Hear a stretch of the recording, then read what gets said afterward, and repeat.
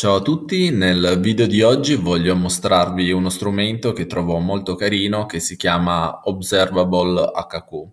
Eh, non è un concetto completamente nuovo, già esistevano in passato strumenti simili e eh, questo strumento si può definire una sorta di linguaggio di programmazione interattivo che può essere utilizzato in uh, tantissimi contesti.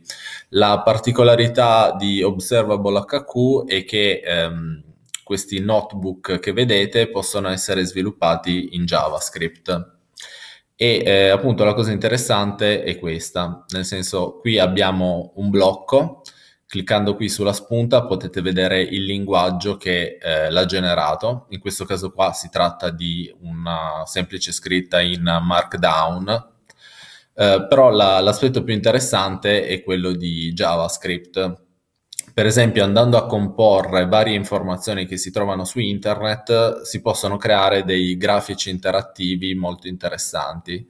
Per esempio, questo items lo vado a prendere dalle API di CoinMarketCap e quindi qua uh, ho messo un limite 30, però questo qui è un valore mio che ho deciso e questo blocco di codice che assomiglia al 90% JavaScript, mi restituisce una serie di dati. Eh, questi dati non sono esattamente come, come li vorrei, quindi in un secondo blocco di codice vado a fare una conversione. Quindi da questa variabile qua items è quella che viene definita da questo blocco e eh, con items fix vado a fare eh, alcune cor- correzioni a questi dati che ottengo e quindi li trasformo effettivamente eh, come li vorrei avere per poter fare il grafico. E quindi cliccando qua posso vedere che cosa accade e quindi qua praticamente vado a fare la conversione ehm, diciamo da, da stringa a valore eh, una volta fatta questa conversione, i dati sono, come dire, puliti apposta per essere eh, visualizzati. Quindi questa è una stringa, questo è un numero. E una volta che abbiamo tutti questi numerini, possiamo appunto fare i grafici come, come meglio crediamo.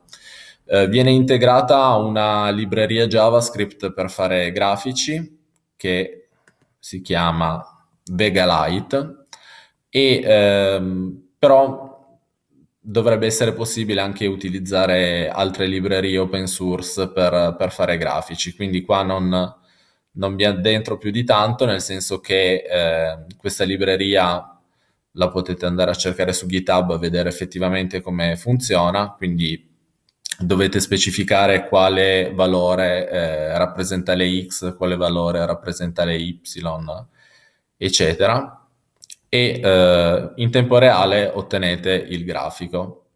Facciamo finta però che vogliamo rendere eh, questo grafico un po' più interattivo, quindi qua invece di mettere il numero 30 passiamo una variabile, che ne so, chiamata limit. E eh, questo eco, questa variabile eco, qui ci viene già dato l'errore che limit non esiste, questo eco diventa il nostro limit e quindi qua possiamo anche mettere un valore di default. Ok. E a questo punto schiacciando play questo blocco di codice viene rieseguito e quindi qua otteniamo un risultato simile a prima. Ok, quindi a questo punto qui abbiamo collegato questa variabile limit al limit passato per fare la chiamata alla nostra API.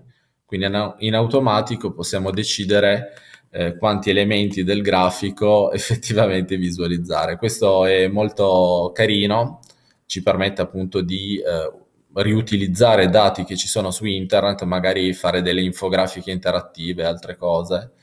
Molto carino. Questo più che invece vedete qua sotto è quello che vi permette appunto di aggiungere nuovi blocchi interattivi. Per esempio, se volete visualizzare questa variabile, scrivete il nome della variabile e a questo punto potete vedere che quando cambio qua il valore cambia anche qua sotto. Invece questa spuntina qua serve, se volete, eh, mantenere aperta la, la visualizzazione, sia la, il risultato renderizzato e sia il codice sorgente che l'ha generato. 50. E quindi in cascata tutti i blocchi vengono rieseguiti, quindi qua è la visualizzazione con 50 elementi. Secondo me è una cosa molto carina per appunto analizzare dati che hanno a che fare con le criptovalute, ma in realtà qualsiasi cosa che eh, restituisce un risultato JSON. E spero che il video vi sia piaciuto, lasciatemi un mi piace, lasciatemi dei commenti, ditemi cosa ne pensate di questo strumento. Vi saluto e ci vediamo in un altro video. Ciao!